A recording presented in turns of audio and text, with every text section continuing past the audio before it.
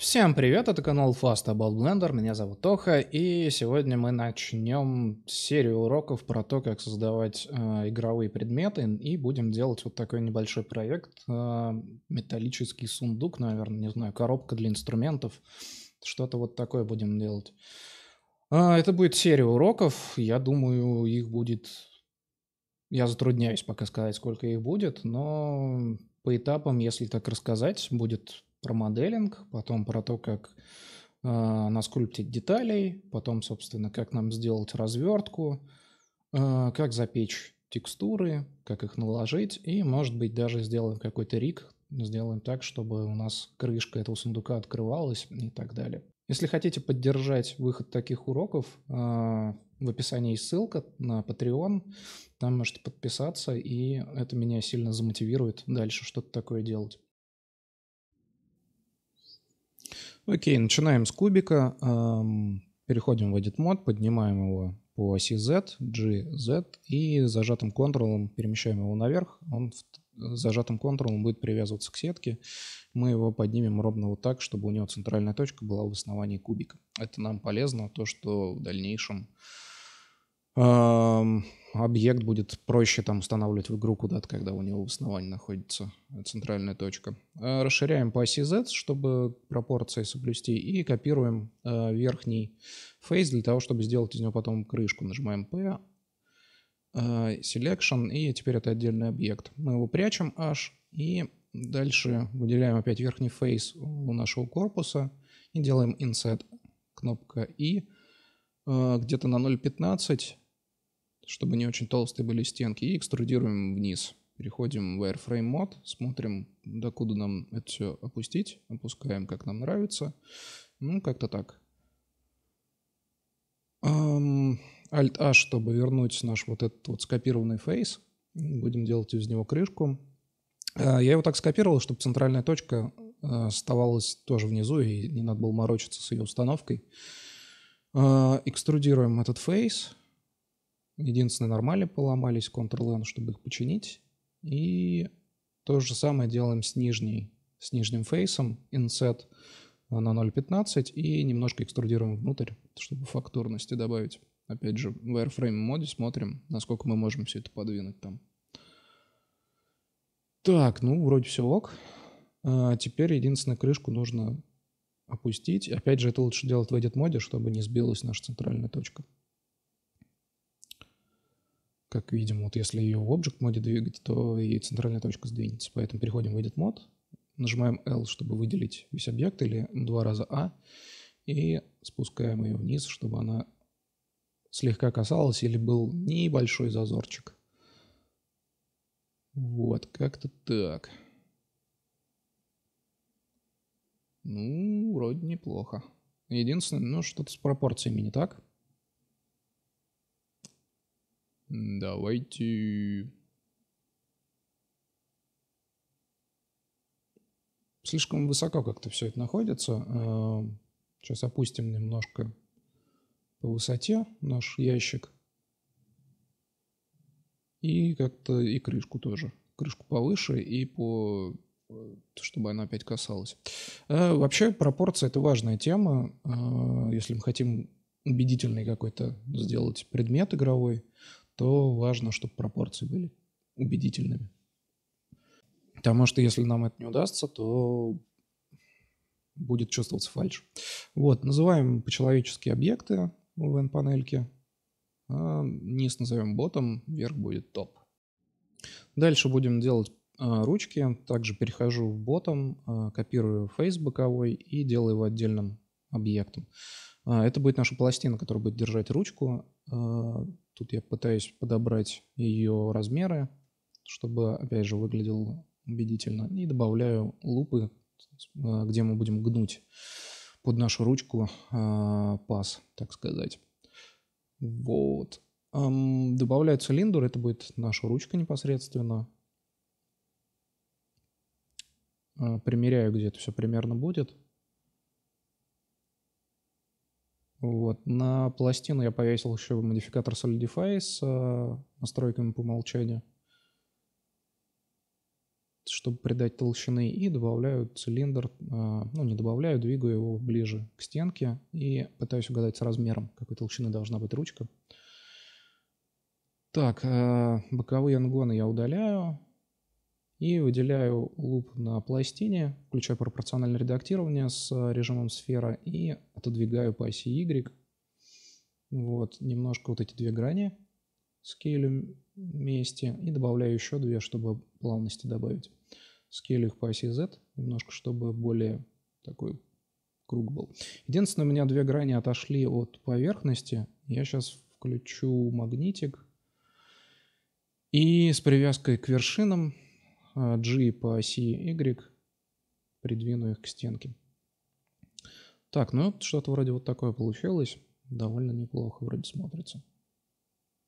А, единственное, в цилиндр я сделал слишком много граней, и ну, вообще, по сути, я ошибся, но я решил, что я не буду ошибки выкидывать из видео, чтобы вы понимали, где можно накосячить а, и так далее. Я думаю, пользы от этого будет больше.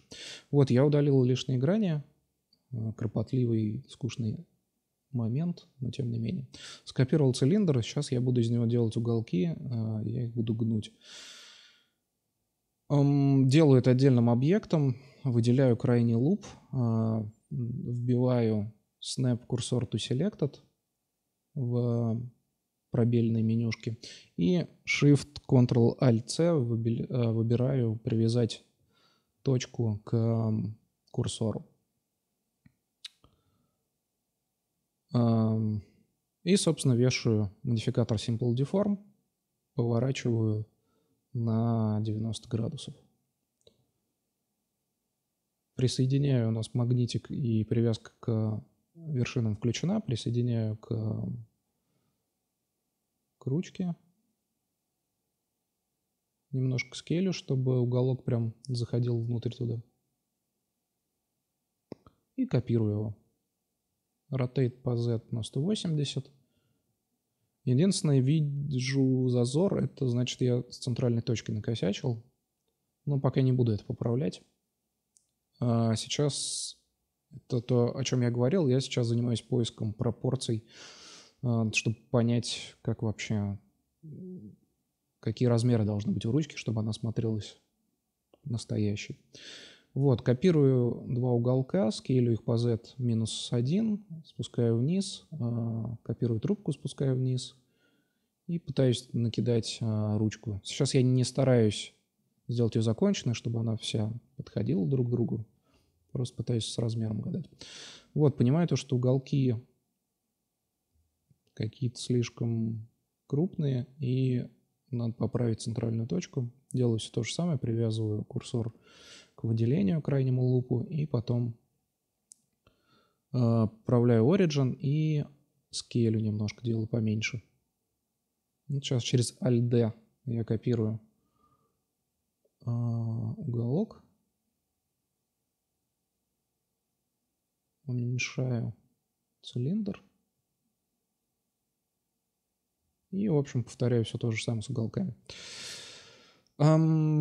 Тут получилось много неинтересной возни, но она именно связана с тем, что я искал размер всей этой истории. Вот, чтобы этого избежать, просто найдите какой-нибудь референс этой ручки, и все гораздо быстрее пойдет. Можно будет подложить эту картинку и просто обвести. Вот, я пошел долгим путем. В плане, я придумал все это из головы. Вообще это довольно сложное занятие одновременно придумывать и моделить, лучше делать что-то одно. Вот, теперь присоединяем э, уголки. У нас включен, включен магнитик, привязка к вершинам. И нижние два уголка старые, а эти я скопировал и опять же отскейлил по z минус 1. Так, э, спускаю ручку. В Edit моде копирую ее, поворачиваю на 90 градусов, скейлю и пытаюсь подогнать поближе. Здесь я делаю уже на глаз, потому что, по сути, мы когда будем склеивать все эти детали, там все эти неточности, а, не так важны будут.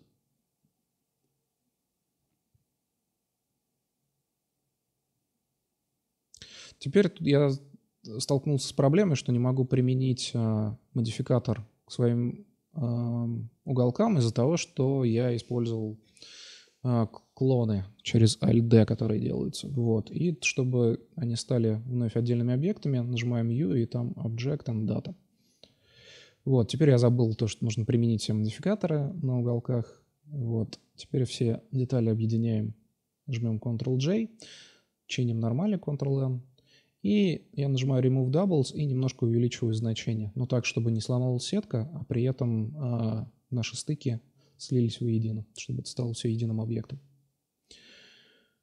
Окей. Эм. В целом с ручкой все окей. Ну, единственное, опять же, поменяю центральную точку и наложу mirror модификатор на оба объекта. То есть у нас сейчас там пластина и сама ручка. Э, применяем, где нужно, Rotated Scale через Ctrl-A. И вот по оси Y добавил вторую ручку. Собственно, именно для этого а, и делалось, чтобы центральная точка была в центре сцены, чтобы легко было использовать Mirror модификатор. Теперь делаем эм, петли. Тут, собственно, все то же самое. А, я копирую face, но я его тут же удалил, потому что я его скопировал только для того, чтобы центральная точка была. Вот, далее я перехожу в него и удаляю этот face и добавляю цилиндр. А, на этот раз сразу я сделал 8 граней. Приближаю его к объектам. И с виду слева, вернее, спереди поворачиваю примерно на 20 градусов, чтобы он вот так вот прилегал. Выделяю вот этот фейс и экструдирую его наверх по оси Z. Scale Z0, чтобы выровнять. И заполняю с помощью аддона F2 дырки. Окей, теперь я, опять же, э, у меня не было какого-то референса петлей, я здесь все выдумываю на ходу, а я пробую как-то сделать а, петлю, немножко прикидываю и решаю, что надо бы сразу ее экструдировать. А, выделяю вершины, поднимаю их немножко и фейс экструдирую в бок. Уже потом это целиком выделяю через L. А, и спускаю вниз, подгоняю, и получается вот такая вот что-то вроде петли.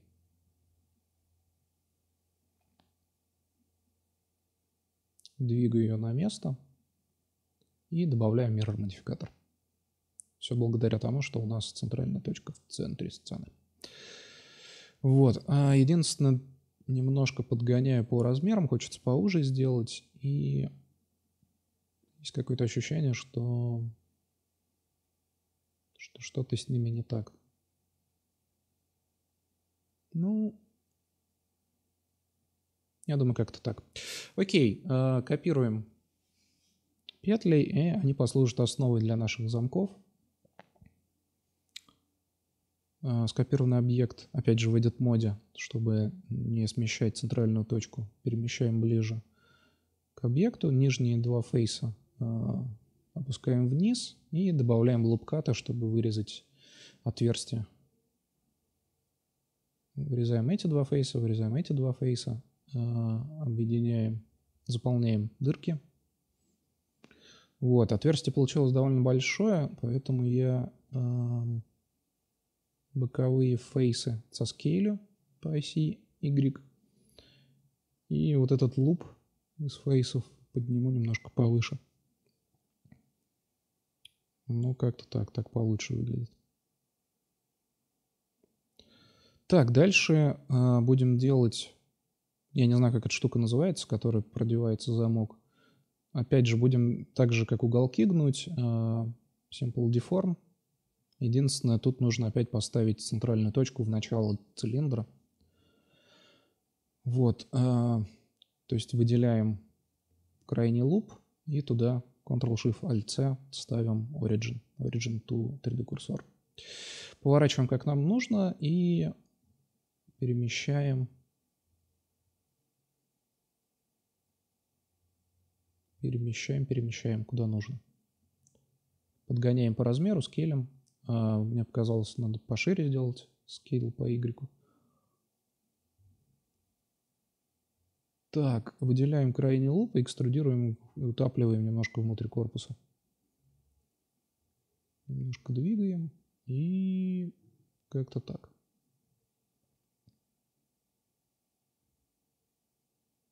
И опять же mirror модификатор применяем. Так, а теперь делаем клепки. Их я делаю из UV сферы с настройками 16 а, полос и 8. А, удаляю нижние вершины, поворачиваю на 90 градусов. И чтобы проще было, опять же, устанавливаем центральную точку. Вообще про центральную точку у меня есть отдельный урок, я рекомендую посмотреть, разобраться. Довольно важная тема. Вот, а здесь мы используем привязку к поверхностям, то есть включаем магнитик.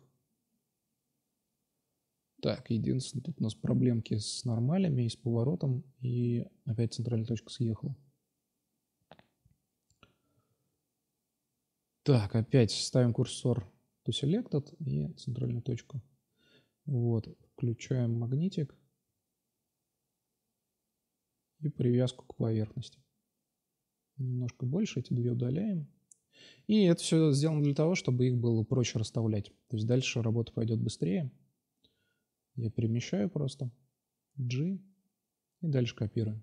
Shift-D, Shift-D, Shift-D, Shift-D. Она, они автоматически привязываются к поверхности, благодаря тому, что у нас центральная точка в основании. А, выделяю все 5, скейлю по Z со значением минус 1 и вниз спускаю. И то же самое делаю для ручек. Scale по z-1, спускаю вниз. А, ну, здесь как-то странно смотрится. Лучше я вот, наверное, по 3 оставлю на каждый. Тынц, окей, выделяю все, Ctrl-J, чтобы объединить в один объект, пересчитываю нормали а, в edit моде, применяю Rotation and Scale, опять слетели нормали, переходим в edit мод, чиним нормали, Ctrl-N, вот, и привязываю к, к ручке. То же самое делаю с замком и с петлями. Объединяю в один объект и потом выделяю клепки, потом выделяю петлю и Ctrl-J.